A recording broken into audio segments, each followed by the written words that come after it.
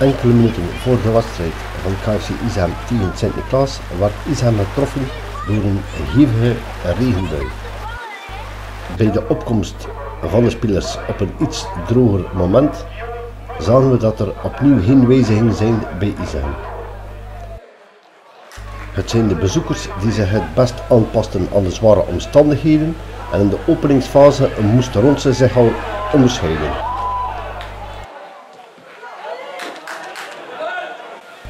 Ondertussen is het opnieuw flink gaan regenen en Hombami kan de doelpoging afblokken in hoekschop. Bij deze komt Isham al na 7 minuten op achterstand.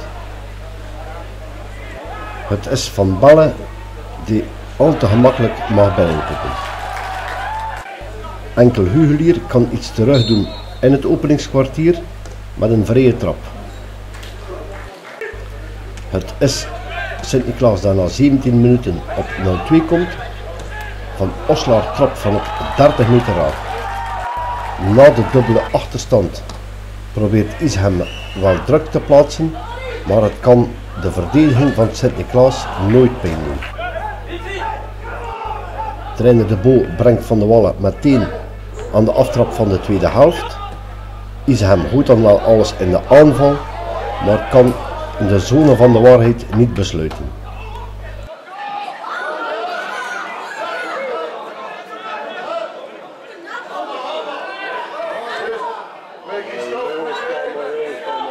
Sint-Niklaas beperkt zich tot het verdedigen van de voorsprong en ook via de tegenaanval is het nauwelijks gevaarlijk.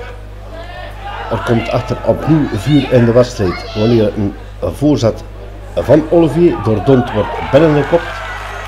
Rest is hem nog een kwartier om op zoek te gaan naar de gelijkmaker, maar het slaagt er opnieuw niet in voor gevaar te creëren.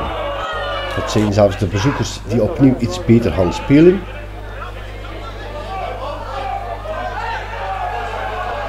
En in de slotfase nog een penalty afdwingen na een hensbal van Hugelier.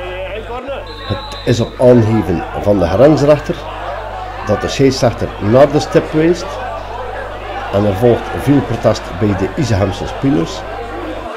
Op de vertraagde beelden zien we dat het een fase is waar er lang kan over gediscuteerd worden. Toch besluiten we dat de bal snel naar de stip gaat op zo'n nat veld. Niettemin is het niet door deze penalty dat de wedstrijd eindigt op 1-3, maar wel degelijk door het matige spel dat Isham etaleerde deze namiddag.